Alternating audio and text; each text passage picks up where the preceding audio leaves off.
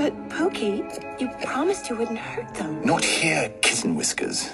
Danny will discuss it later.